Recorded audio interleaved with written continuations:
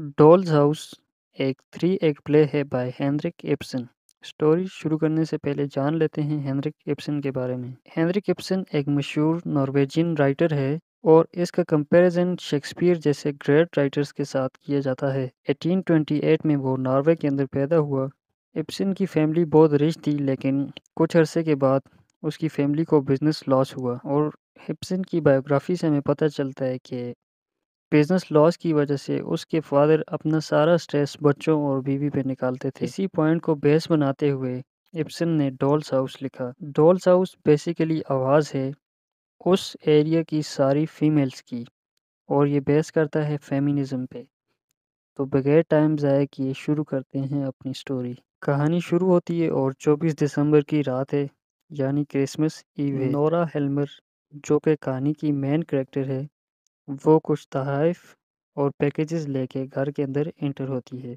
उसके पीछे पीछे एक बंदा आ रहा होता है, जिसके हाथ में एक क्रिसमस ट्री होता है। नोरा उससे कहती है कि इस ट्री को उधर कोने में रख दें।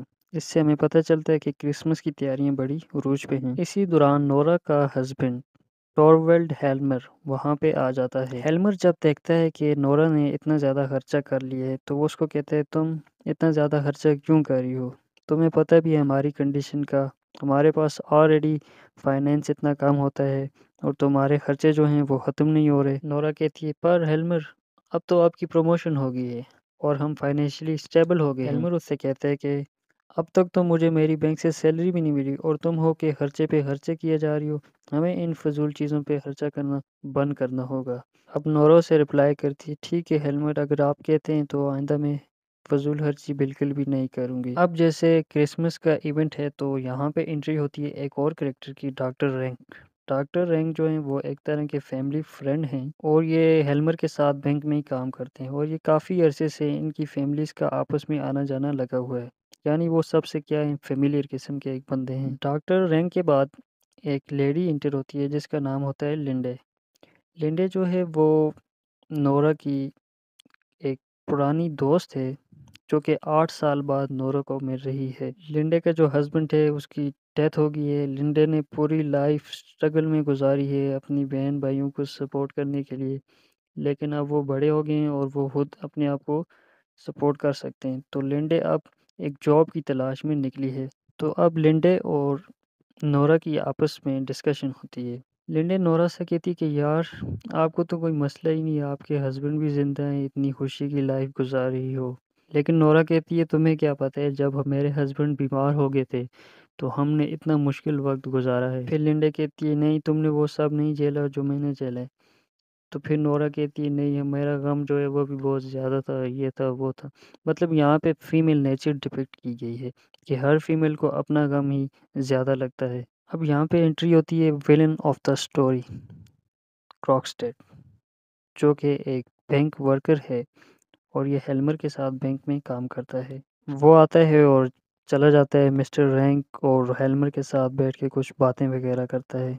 जब वो सब बाहर आते हैं तो नोरा उनसे कहती है कि, ये मिसेस लेंडे हैं, आप लोग इनके लिए कोई जॉब वगैरह ढूंढें। तो हेलमर कहता है हाँ मैं कोशिश करूँगा बैंक में इनको कोई जॉब वगैरह ढूंढ के दे दूँगा। अब यूँ ही कहानी चलती है और एक दिन क्या होता है कि क्रॉकस्टेट आता है और नोरा से कहता है कि, मुझे आपसे कुछ बात करनी है।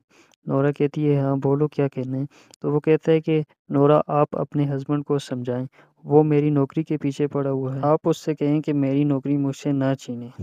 और वो यहाँ पे उसको ब्लैकमेल करता है। ब्लैकमेल किस तरह? वो नोरा से कहते हैं कि, मुझे आपका एक बहुत बड़ा सीक्रेट पता है। वो सीक्रेट ये है कि मुझे पता है कि बैंक से लोन लेते वक्त आपने जो चेक पे सिग्नेचर किए थे, वो आपके फादर के नहीं थे, बल्कि आपके अपने थे। क्योंकि आपके फादर की डेथ उससे एक दिन पहले हो गई थी।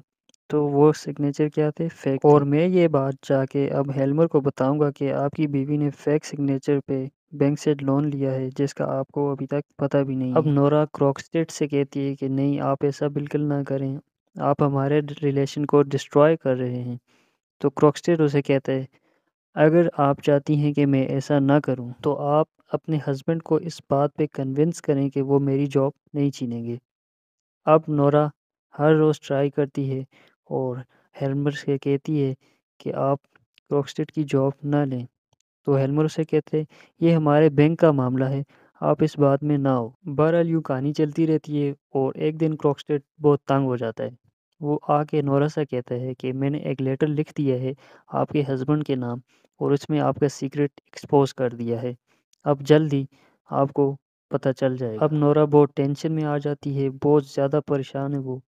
लिंडे से वो कहती है कि आप कुछ करो नहीं तो मेरी पूरी लाइफ डिस्ट्रॉय हो जाएगी। लिंडे कहती है नोरा आप टेंशन ना लें मैं जाके क्रॉकस्टेज से बात करती हूँ और उसको मना अब लिंडे जाती है और वो सक्सेसफुल होती है इस बात में और कन्विंस कर लेती है क्रॉकस्टेड को कि आप लेटर पब्लिश नहीं करेंगे। लेकिन क्रॉकस्टेड कहते हैं मैं ऑलरेडी लेटर पोस्ट कर चुका फिर वो डिसाइड करते हैं कि एक और लेटर लिखा जाए जिसमें ये बात एक्सेप्ट की जाए कि जो पहला लेटर है वो एक फेक लेटर था। बहरहाल जो लेटर पोस्ट हो चुका था वो हेलमर के हाथ लग गया। अब हेलमर जब लेटर देखता है तो वो नोरा को बुलाता है और ऐसी ऐसी सुनाता है नोरा तुम ये हो तुम ऐसी हो तुम वैसी हो तुम्हें शर्म नहीं आई? तुमने मेरी इज़्ज़त मिट्टी में मिला दी है। बहुत ज़्यादा उसको बातें सुनाता है। इसी दौरान उसको दूसरा लेटर मिलता है।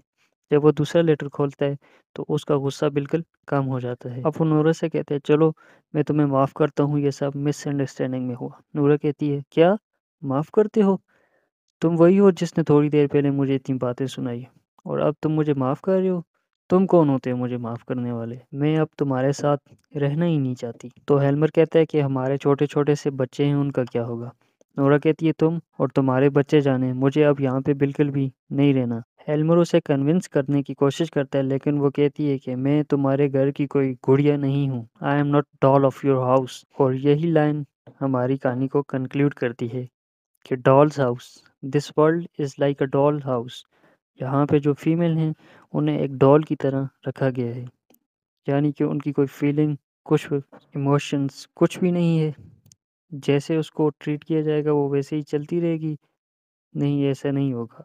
और नोरा ने इस एरिया की जो फीमेल थी, उन सब की वॉइस बन के एक मैसेज दिया था उस दौर में। शुक्रिया। अल्लाह हाफिज़।